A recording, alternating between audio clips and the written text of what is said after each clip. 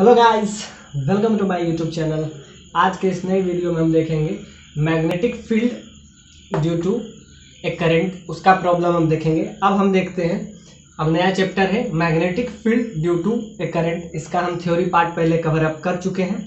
अब इसके हम क्वेश्चन पे आते हैं। तो ये क्वेश्चन आपसे magnetic field at the point P P पे आपको बताना है कि नेट मैग्नेटिक फ़ील्ड का वैल्यू क्या होगा। तो ध्यान से देखिए, इसका थोड़ा सा हम इमेज बना लेते हैं। तो इधर फ्लो है, ये एक स्क्वायर है। इस, इधर करंट का फ्लो है फाइव एम्पियर एग्जैक्टली इसके पूरे से स्क्वायर में फाइव एम्पियर का करंट फ्लो हो रहा है। ये भी फाइव एम्पियर है। एग्जैक्टली इधर भी आपको फाइव एम्पियर का करंट फ्लो हो रहा है। ये भी आपका फाइव एम्पियर का है। अब बीच का गैप आपको पता है फाइव सेंटीमीटर है। और इस, इसके सेंटर पे पी पॉइंट पे आपको बताना है कि मैग्नेटिक फ़ील्ड का वैल्यू क्या होगा। अब ध्यान से देखिए मैग्नेटिक फ़ील्ड का हम डायरेक्शन जब भी हम निकालते थे डीबी तो आता था डीएल क्रॉस आर अब इसमें डीएल जो होता है, ये वही होता है जिधर डायरेक्शन डीएल का जो डायरेक्शन होता है हम पहले बताए थे डीएल का डायरेक्शन उधर ही होता है, जिधर डायरेक्शन क्या होता है करंट का। करंट का जो डायरेक्शन होता है, वही डायरेक्शन डीएल का होता है और आर जो होता है, इसको कहते हैं हम लोग पोजिशन वेक्टर इसको कहते हैं हम पोजिशन वेक्टर तो पोजिशन वेक्टर हमेशा कहते हैं कि इनिशियल से फाइनल की तरफ़ डायरेक्टेड होगा। यानी कि पोजीशन वेक्टर इधर देखेंगे तो इसका अलग होगा, इसका डायरेक्शन ये होगा, ये आपका पोजीशन वेक्टर हो जाएगा। इसको आर नाम देते हैं डीएल उधर है। तो डीएल क्रॉस आर वो क्या होगा? समझिए कि डीएल क्रॉस आर से ही हम उसके मैग्नेटिक फ़ील्ड का डायरेक्शन निकाल लेंगे। तो ये क्वेश्चन बहुत ही लाजवाब है बेसिक प्रॉब्लम है, जिससे आपको क्लियर हो जाए। हमको मैग्नेटिक फ़ील्ड इस स्क्वायर के वजह से निकालना है और वो भी उसके सेंटर पे निकालना है। So we will have to find the magnetic field due to this current carrying current carrying wire which have current 5 ampere in entire square, and the side of a square is 5 centimetre अब आपको इसके centre पे निकालना है। उसके बाद ये diagonal है, इस पे भी अलग अलग से निकालेंगे। तो पहले हम फ़र्स्ट पार्ट करते हैं। तो ध्यान से देखिए DL DL cross DL cross जब हम क्या करेंगे? डीएल का डायरेक्शन तो डीएल का डायरेक्शन आप होपफुल्ली आप इसको एक्स एक्सिस समझ लीजिए, क्योंकि आई के तरफ़ डायरेक्टेड है। तो बी का डायरेक्शन हम निकाल लेते हैं, यानी मैग्नेटिक फ़ील्ड ड्यू टू अब इसका नाम हम दे देते हैं ए बी सी डी तो due to A B so magnetic field magnetic field due to हम क्या करेंगे? ए बी हम निकालेंगे. तो ए बी निकालेंगे तो डी एल का डायरेक्शन किधर होगा? सिंपली दिखाई दे रहा है कि एक्स एक्सेस की तरफ़ है मतलब आई है. और इसका डायरेक्शन किधर है?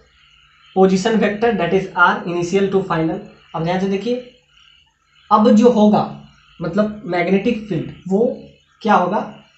दो, इस दोनों प्लेन के परपेंडिकुलर होगा। तो ध्यान से देखिए, अब ऐसा कीजिए, आप इसमें दो चीज़ लगा सकते हैं। इसमें राइट हैंड थम रूल से आप देखिए तो आपको क्या है डीएल से आपको जाना है आर तो डीएल का डायरेक्शन किधर है? इधर है। तो इधर से आर जाइएगा तो क्या हो जाएगा? अब दो ही चीज़ होगा इस प्लेन के हमेशा परपेंडिकुलर होगा, या तो इन साइड या तो आउट साइड अब डीएल क्रॉस आर जब भी हम करेंगे तो क्या हो जाएगा? इस प्लेन से, इस प्लेन से ऐसे समझिए कि डीएल से आर के तरफ़ है। डीएल से आर के तरफ़ है तो आप इस तरीके से समझ सकते हैं। डीएल से आर के तरफ़ आप इसको, इसका डायरेक्शन आप निकालिए। तो आइए इसका डायरेक्शन हम निकाल रहे थे।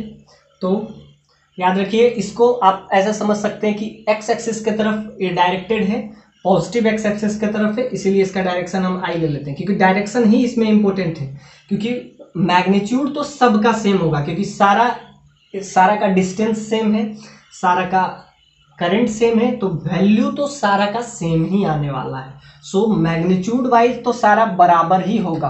अब ध्यान से देखते हैं मैग्नीट्यूड तो सारा का मतलब मैग्नीट्यूड जो बी फ़ील्ड का होगा। वो सारा का बराबर होगा। लेकिन इसमें डायरेक्शन इंपॉर्टेंट है। इसलिए डायरेक्शन पे हम जो बेसिक लेक्चर लिए थे, वो लेक्चर से आप इसको क्लियर कर सकते हैं। तो ध्यान से देखिए एक्स एक्सिस की तरफ़ डायरेक्टेड है और कहते हैं पोजीशन वेक्टर जो होता है इनिशियल से फाइनल मतलब इस वायर से जिस पॉइंट पे आपको निकालना है, उस उधर डायरेक्टेड होता है। तो इसका डायरेक्शन ये है और इसका डायरेक्शन ये है। डीएल इधर है और आर इधर है तो दोनों का क्रॉस जब करते हैं तो इसको क्या माइनस जे ले लेते हैं।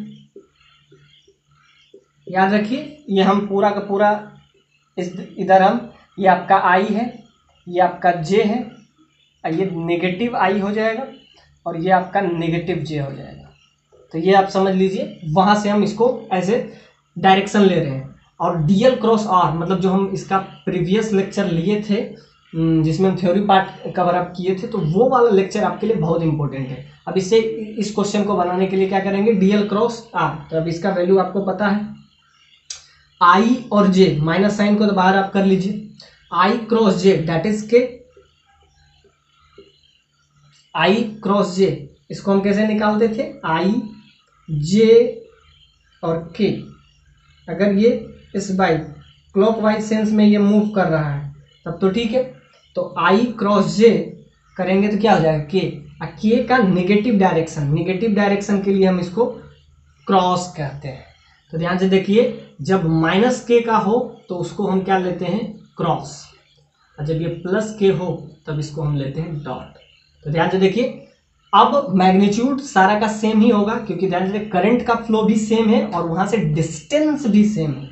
तो जिसके वजह से मैग्नीट्यूड तो सारा का सेम होगा। एग्जैक्टली exactly, हम ए बी का निकाल लिए, फिर हम क्या निकालेंगे? ऐसे ही हम फिर निकालेंगे बी सी का, फिर सी डी का, हम सारा का एक एक करके हम निकालते हैं। तो ध्यान से देखिए, अब निकालेंगे magnetic field due to BC अब BC magnetic field due to BC अब ध्यान से देखिए बीसी के लिए हम क्या देखेंगे? तो बीसी के लिए डीएल का जो डायरेक्शन है, वो किधर है? जे में है।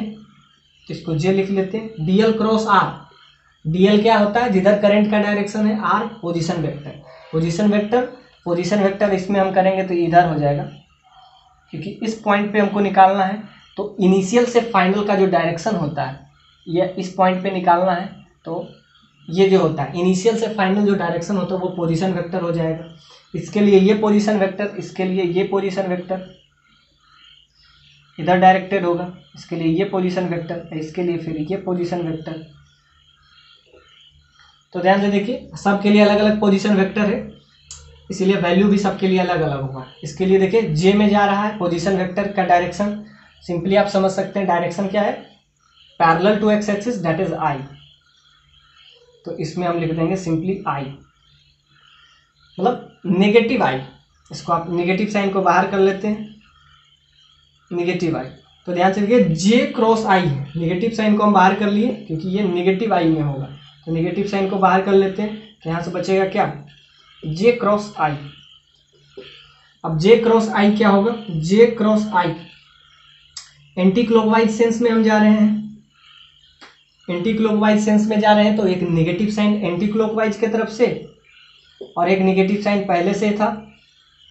तो क्या हो जाएगा? ये तो सिंपली क्या हो जाएगा तो इसका सिंपली हो जाएगा plus k plus k that is dot मतलब बीसी के वजह से बीसी के वजह से क्या आ गया? प्लस के अब एग्जैक्टली exactly अब कौन सा बचा है? एक बी सी तक पहुँचे, अब हम यहाँ से पहुँचेंगे बी से सी के तरफ़. बी सी का निकाल लिए।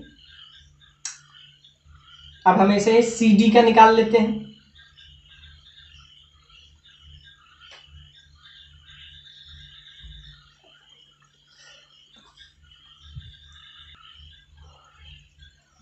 अब हम निकालेंगे, ये बीसी के थ्रू आ गया आपका। बीसी बोलिए या इसको सी वी बोलिए, क्योंकि सी वी डायरेक्शन ज़्यादा इसमें इफ़ेक्टिव होगा। अब हम देखेंगे जो बचा हुआ, जैसे डी सी लेंगे। अब डी सी के लिए हम कैसे निकालेंगे? अब ऐसे ही निकालेंगे डी सी के लिए। तो डी सी के लिए अगर हम निकालते हैं magnetic field B field B field due to D C B C अब ध्यान से देखिए, इसका डायरेक्शन एक्स एक्सिस की तरफ़ है सो आई और इसका डायरेक्शन आपको किधर है? सिंपली वाई एक्सिस की तरफ़ है। So i into j that is k तो इसका भी आपको क्या आ गया? सिंपली के आ गया। अब कौन सा बचा? अब सिंपली बचा ए डी ए डी के लिए अगर हम निकालते हैं magnetic field due to A D due to A D और याद रखिए मैग्नीट्यूड सबका सेम होगा। मैग्नीट्यूड पे कोई इम्पैक्ट नहीं पड़ने वाला है। तो ध्यान से देखिए, इसका हम अगर निकालते हैं एडी का तो एडी में डायरेक्शन क्या है? डीएल का डीएल का डायरेक्शन जे है। डीएल का डायरेक्शन जे है। और पोजीशन वेक्टर पोजीशन वेक्टर का डायरेक्शन सिंपली आई है।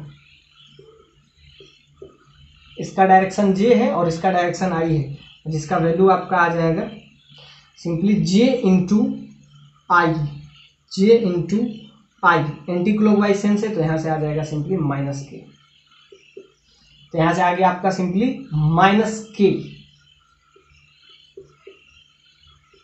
तो ध्यान से देखिए एक दूसरे को, अगर हम नेट इलेक्ट्रिक फ़ील्ड का वैल्यू निकालेंगे तो सारे को ऐड कीजिएगा। तो ध्यान से देखिए, ये माइनस के इस प्लस के को कैंसिल कर देगा और ये माइनस के इस प्लस के मतलब सारे को अगर निकालिएगा ड्यू टू यानी कि magnetic field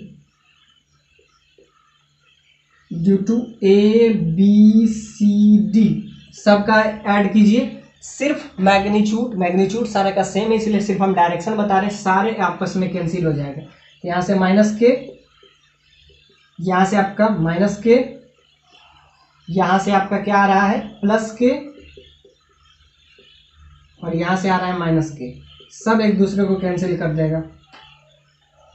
प्लस के ये ये ये आपस में cancel so net magnetic field at this position centre at this position centre of the square that is zero with A B C D A तो इसके द्वारा क्या आ गया सिंपली आपको? तो ये आप देखिए मैग्नीट्यूड तो सारा का सेम होगा। मैग्नीट्यूड कैसे निकालेंगे? मैग्नीट्यूड के लिए तो सिंपल क्या बताया थे आपको? Mu by four pi mu naught by four pi simply dl length क्या है? फाइव सेंटीमीटर है तो डीएल क्रॉस जब वैल्यू ही ज़ीरो आ रहा है तो डीएल क्रॉस आर आर भी सब के लिए सेम है डीएल मतलब d l B by r cube तो ये आपका वैल्यू आ जाएगा, अगर वैल्यू निकालना चाहें तो यहाँ से निकल जाएगा. So due to square at the centre centre पे हम उसका मैग्नेटिक फ़ील्ड निकालें. अब इस क्वेश्चन में आपको बताना है कि उसके डायगोनल वाले पॉइंट किसी भी एक लाइन के अबाउट आप बताइए कि magnetic field magnetic field at the diagonal diagonal of diagonal of square अब स्क्वायर के डायगोनल के अबाउट आप निकालिए। पिछला वाले तो आप निकाले थे, उसमें नेट मैग्नेटिक फ़ील्ड का वैल्यू ज़ीरो आ गया था। अब हम इसमें वैल्यू भी निकालेंगे। पिछला बार तो मैग्नीट्यूड वाइज ही हम काम किए थे। क्योंकि मैग्नीट्यूड सारा का सेम आता। अगर मैग्नीट्यूड पिछला बार हमको निकालना होता तो क्या होता? सिंपली हम बताए हैं। B is equal to mu naught by four pi I d l cross r d l cross r by r cube अब इसको अगर थोड़ा सा वैल्यू निकालने के लिए हम यूज़ करेंगे तो इसका वैल्यू आपको पता है ten to power minus seven होता है। अगर उसका वैल्यू हम निकालते पिछला वाले में तो सिर्फ़ हम मैग्नीट्यूड निकाल सिर्फ़ डायरेक्शन से ही हम उसका काम चलाए, मैग्नीट्यूड अगर निकालना हो तो उसको हम इस टाइप से करेंगे, I dl by r square तो ध्यान से देखिए, इसका value ten to power minus seven होता है। करंट का फ्लो इस स्क्वायर में कितना हो रहा था? फाइव एम्पियर लेंथ कितना था? लेंथ आपको पता है फाइव सेंटीमीटर इसको मीटर में बदलेंगे ten to power minus two से मल्टीप्लाई करेंगे और डिवाइडेड बाय रेडियस। रेडियस क्या होता है? यहाँ से परपेंडिकुलर डिस्टेंस। तो ये परपेंडिकुलर डिस्टेंस आपको क्या पता था? इसका परपेंडिकुलर डिस्टेंस हम यहाँ से अगर निकालें तो तो परपेंडिकुलर डिस्टेंस आपको सिंपली निकल जाएगा यहाँ से। ध्यान से देखिए, यह स्क्वायर है तो इसका डायगोनल 45 डिग्री का एंगल बनाएगा। हमको पता नहीं है कि इसका परपेंडिकुलर क्या होगा।